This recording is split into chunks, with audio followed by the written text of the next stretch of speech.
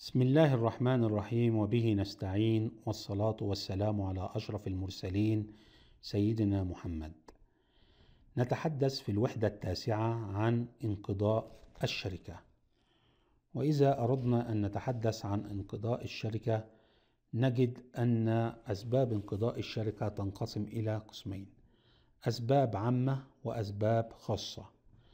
فما المقصود بالأسباب العامة وما المقصود بالأسباب الخاصة. المقصود بالأسباب العامة أي أسباب عامة تنقضي بها جميع أنواع الشركات سواء كانت شركات أشخاص أو شركات أموال.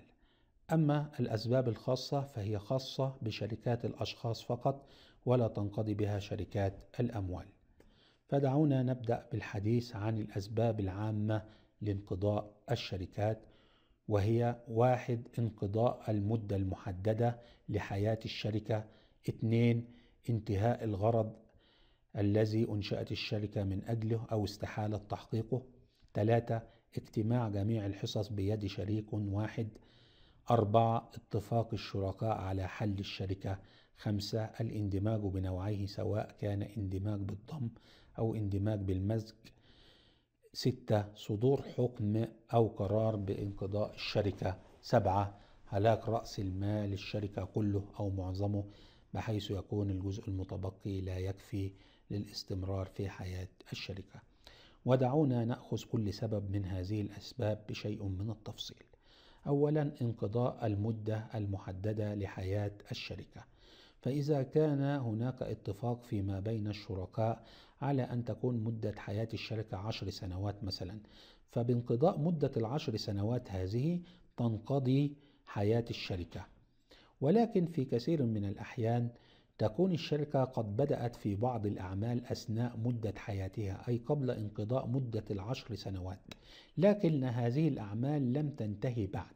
فهل تنقضي الشركة بمجرد انقضاء مدة العشر سنوات أم أنها تستمر فترة أخرى لحين الانتهاء من الأعمال التي كانت قد بدأت قبل قبل انقضاء حياتها ولم ومستمرة بعد انقضاء مدة العشر سنوات. في الحقيقة يجب أن ننتظر لحين الانتهاء أو تصفية الأعمال التي كانت قد بدأت أثناء حياة الشركة ولم تنتهي بعد انقضاء المدة المحددة لحياة الشركة.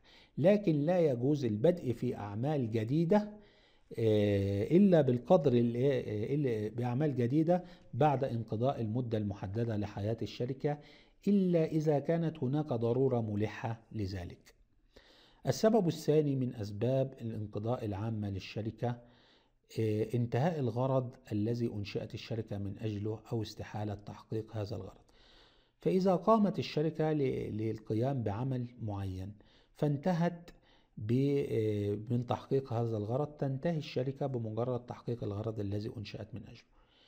لكن السؤال الذي يطرح نفسه ماذا لو كان هذا الغرض محدد له مدة لتحقيقه؟ وقام واستطاعت الشركة أن تنتهي من من تحقيق هذا الغرض قبل انقضاء المدة المحددة لتحقيقه. فمثلا قامت شركة لإنشاء شركة مباني لإنشاء مجمع جامعة الملك خالد بالفرع ووضع لذلك مدة عشر سنوات واستطاعت الشركة إنهاء جميع أعمال البناء في خلال سبع سنوات.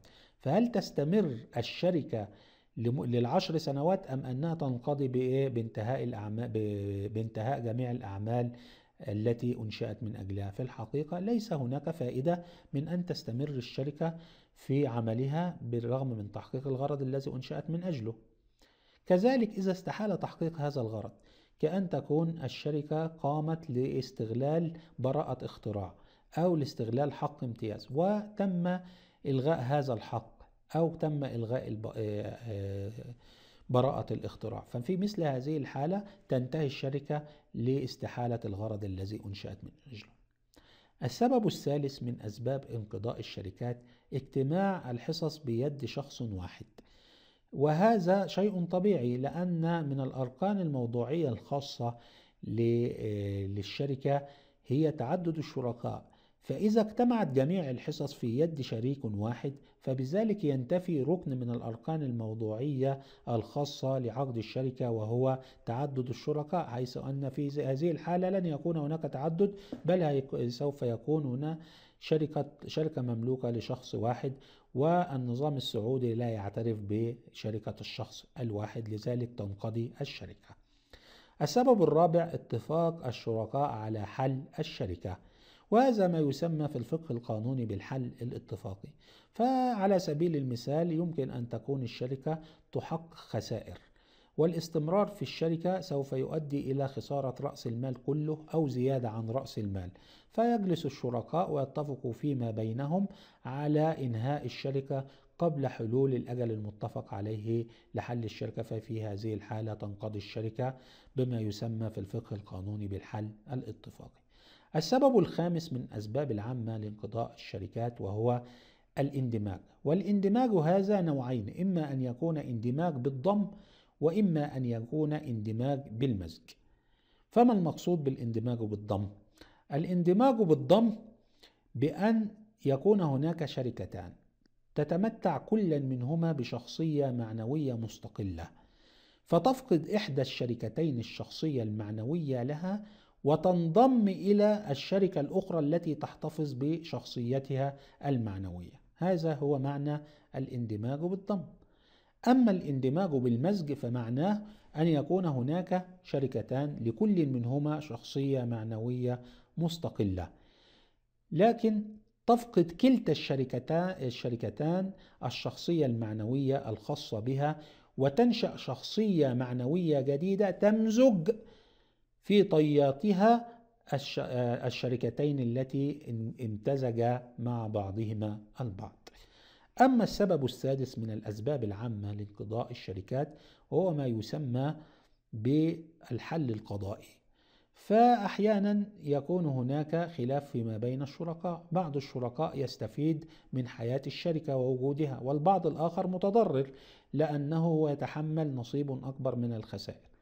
ويطلب من شركائه حل الشركة فيرفضوه فيجوز لمثل هذا الشريك أن يلجأ للقضاء. فإذا أبدى أسباب جدية ومقنعة للقاضي فيجوز أن يصدر من القاضي حكما بانقضاء الشركة وحلها وهذا ما يعرف في الفقه القانوني بالحل القضائي. أما السبب السابع من الأسباب العامة لانقضاء الشركة فهو هلاك رأس مال الشركة. كله أو معظمه بحيث يكون القدر المتبقي لا يكفي لاستثمار حياة الشركة. وهذا أمر طبيعي حيث أن المال هو عصب التجارة. فلا يمكن أن نتصور أن تبقى الشركة بعد هلاك رأس مالها كله. فلماذا تبقى؟ وماذا سوف تستثمر؟ أو أن غالبية رأس المال 90% أو 95% من رأس المال قد هلك والجزء المتبقي لا يكفي الاستثمار في حياة الشركة فحينئذ تنقضي الشركة. لكن قد يهلك رأس المال كله ولا تنقضي الشركة. في حالة ما إذا كان الشركة مؤمن عليها فإن شركة التأمين تلتزم بإعادة الحال إلى ما كان عليه وفي هذه الحالة يمكن الاستمرار في حياة الشركة واستمرارها مرة أخرى.